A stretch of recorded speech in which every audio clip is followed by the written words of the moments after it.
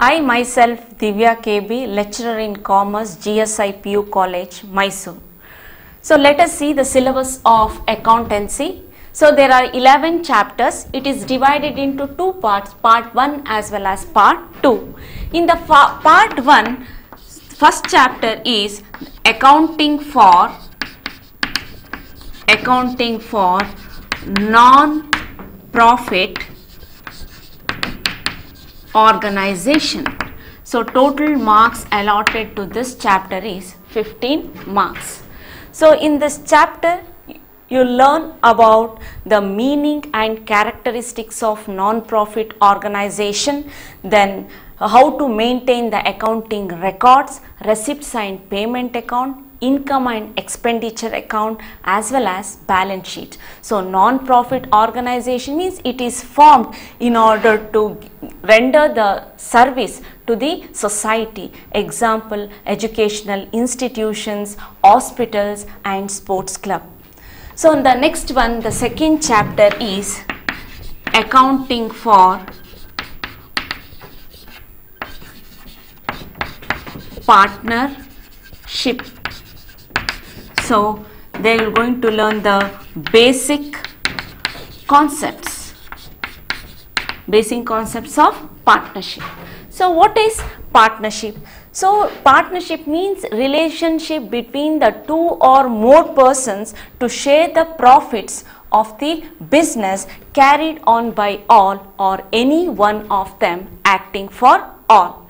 So in this chapter, you are going to learn about the nature of partnership, partnership deed and special aspects of partnership accounts, maintenance of the accounts that is fixed capital and fluctuating capital, distribution of the profit among the partners as well as the guarantee of profits to a partner.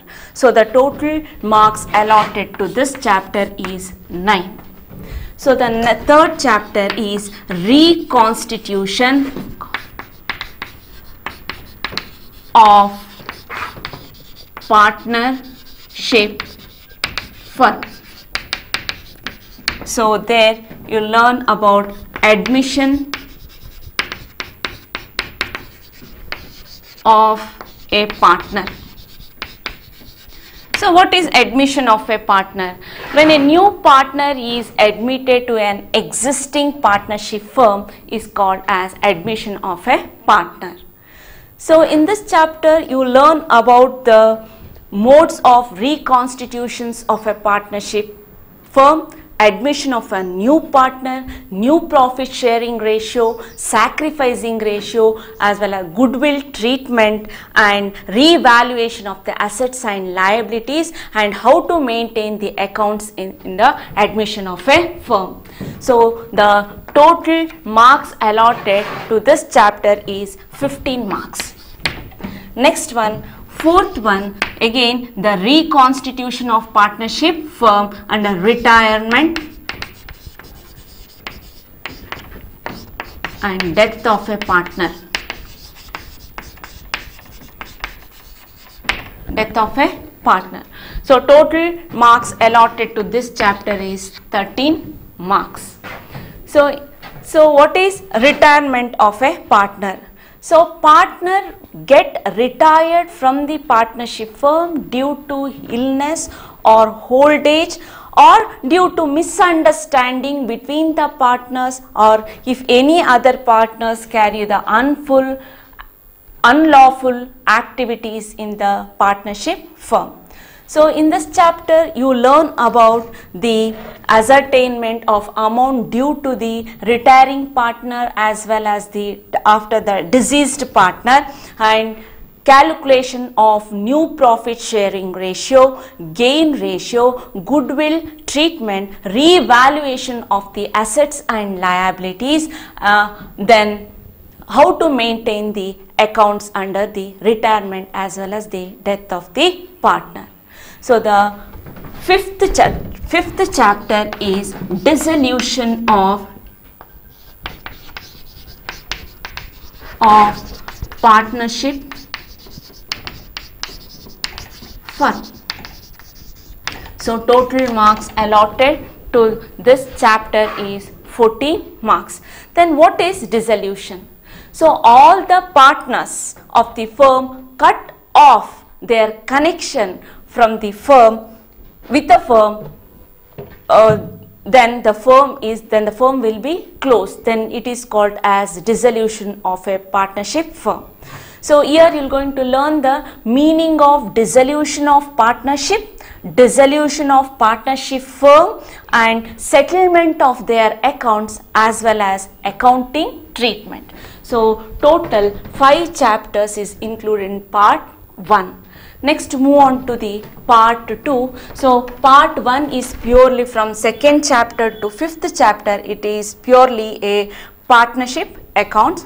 Next one is part 2. So part 2 it is purely the company accounts. So under the part 2 first chapter is that is accounting for share capital. Accounting for share capital. So before knowing the share capital, then let us know about the meaning of company.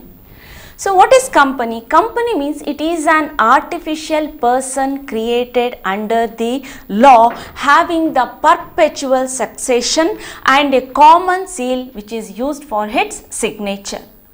So if the company required the capital means the company issues the shares to the public then the capital will be raised. The accounting for share capital in this chapter you learn about the features of the company kinds of company as well as share capital of a company, nature and types of different types of shares, how to issue the shares, accounting, treatment as well as for forfeiture and reissue of shares. So, the total marks allotted to this chapter is 15 marks. Next move on to the second chapter in part 2 that is issue and redemption of debentures issue and redemption redemption of debentures. So total marks allotted to this chapter is 19 marks. Then what is debentures? So debenture it is an acknowledgement of debt issued by the company.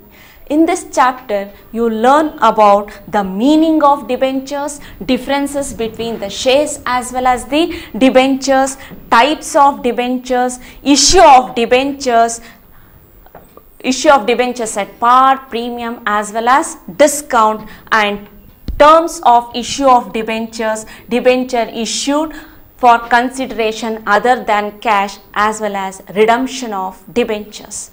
Next move on to the next chapter that is financial statements of a company.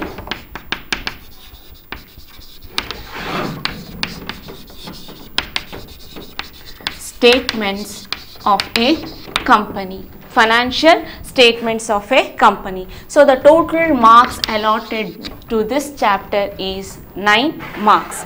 So, financial statement financial statement means so it is the end product of accounting process which shows the financial positions of the company which is required or which provides the information to the internal users as well as external users. So in this chapter you learn about the meaning of financial statement, nature of financial statement, objectives of financial statement, types of financial statement, uses of financial statement as well as limitations of financial statement. So, total marks allotted to this chapter is 9 marks. Next one, next chapter is analysis of financial statement.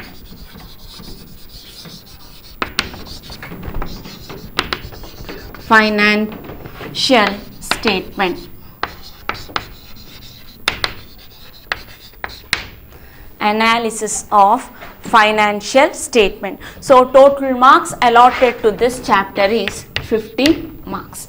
So, what is analysis of financial statement? So it is a critical evaluation of a financial information contained in the financial statement in order to take the decision regarding the operation of the business. So, in this chapter you learn about the meaning and analysis of the financial statement, objectives of financial statement, significance of financial statement, tools of analysis of financial statement, comparative statement as well as common size statement and lastly limitation of the financial statement. So, the next chapter under part 2 that is the fifth chapter is accounting ratios.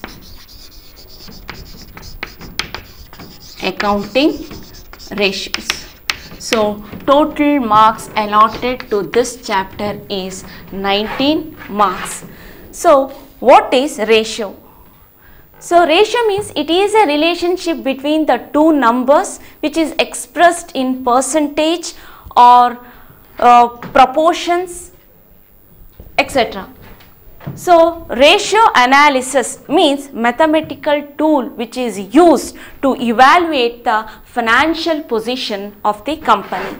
So, in this chapter you learn about the meaning of accounting ratios, objectives of accounting ratios, advantages and limitations of the accounting ratios and different types of ratios. What are the different types of ratios? Liquidity ratios, solvency ratios, turnover ratios as well as profitability ratios. So, the la last chapter in this one is that is cash flow statement. Cash flow statement.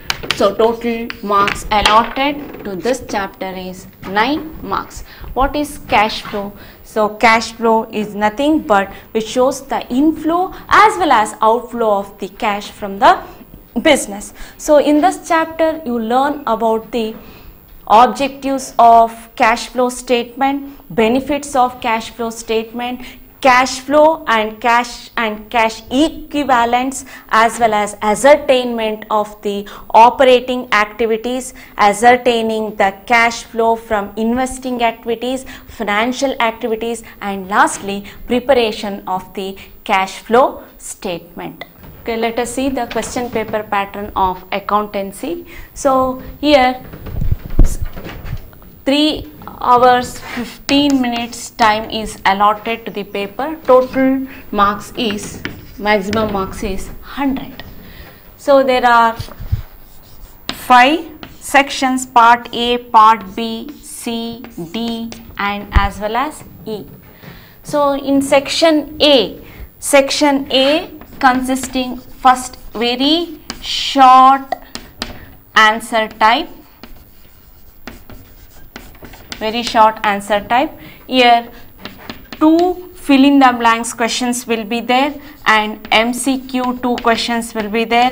True or false one question, expansion one, example one and very short answer type 3 question will be there. So, total number of question given in this section is 10 so, number of question to be answered is 8, marks for each question is 1. So, total marks for each section that is under section A is 8. Next one part B, part B consists of short answer type, short answer type. Here the number of question, total number of question given 8 questions. The number of questions to be answered is 5. So, each question carries 2 marks. Total 10 marks is allotted to this section. So, next one is part C. In part C, small problems will be there small problems. So, total number of questions will be given 7 question. So, number of questions to be answered is 4 and each question carries 6 marks. So, total 24 marks. Next one big problems. big problems. So total number of questions, 7 question will be there. Number of question to be answered is 4. Marks allotted is 12. Total marks is 48. Part E practical oriented question. So total number of question is 3.